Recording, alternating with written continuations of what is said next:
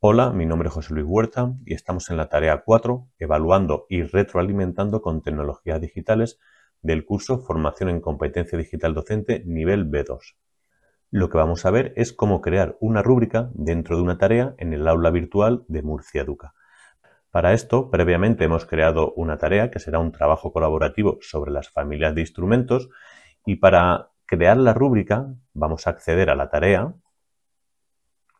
y entre las opciones que aparecen en la rueda dentada tenemos calificación avanzada. Y lo primero que vemos es que podríamos cambiar el método de calificación. Lo tenemos establecido en rúbrica, pero podría ser una guía de evaluación o una calificación simple directa. Yo ya he creado una rúbrica, pero le voy a dar a editar para ver cómo la hemos creado.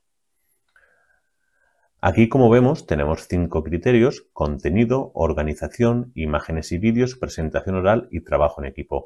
Y cada uno de estos criterios o indicadores de evaluación vienen definidos con cuatro niveles de desempeño. Uno con cero puntos, un segundo nivel con un punto, tercer nivel con dos puntos y cuarto nivel con tres puntos. Yo podría eliminar cada uno de estos niveles o podría añadir más niveles de desempeño. Al mismo tiempo, con los criterios los podría eliminar o moverlos de lugar. Si bajamos más hacia abajo, vemos que tenemos el botón de añadir criterio. Vamos a hacer la prueba. Aquí estableceríamos el criterio que vamos a calificar y después en cada uno de los niveles de desempeño pues le pondríamos su definición. En este caso yo este lo voy a eliminar y a modo de ejemplo el criterio contenido del trabajo colaborativo de los alumnos sería para cero puntos la información es escasa o incorrecta, para un punto la información es básica y a veces inexacta, para dos puntos la información es correcta y completa pero falta profundidad. Y para tres puntos la información es precisa, completa y presenta detalles interesantes. Pasamos ahora a ver dos formas de realizar retroalimentaciones con herramientas digitales diferentes. Para ello volvemos al trabajo, las familias de instrumentos, le vamos a dar a salir sin guardar y como podemos observar dentro del bloque las familias de instrumentos, tenemos un foro, el foro familias de instrumentos. Desde aquí yo les haré una retroalimentación a un grupo de alumnos sobre su trabajo.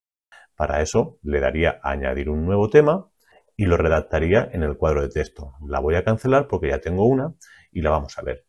Por ejemplo, esta, trabajo en equipo, en el cual he valorado positivamente todos los criterios y he felicitado al grupo por lo bien que lo han hecho tanto en el contenido, en la organización, imágenes y vídeos, presentación oral y el trabajo en equipo. Otra forma de realizar una retroalimentación sería, por ejemplo, a través de la tarea. Volvemos al bloque Las familias de instrumentos y vamos al trabajo. Hacemos clic en él y abajo de todo tenemos los botones de ver todos los envíos y calificación. Le voy a dar a ver todos los envíos y aquí tengo un alumno de prueba. Le voy a dar a calificación. Aquí tengo su entrega tenemos la rúbrica donde podremos calificar al alumno, podríamos ir cambiando los niveles y al final de todo tenemos comentarios de retroalimentación. Lo vamos a hacer en grande para verlo mejor.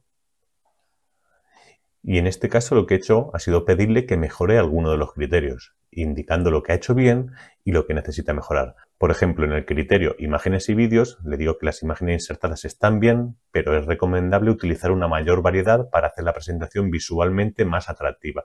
Además, algunos vídeos podrían ser de mejor calidad. Y hasta aquí este vídeo de cómo realizar rúbricas desde el aula virtual Murcia Educa y cómo realizar retroalimentaciones. Un saludo.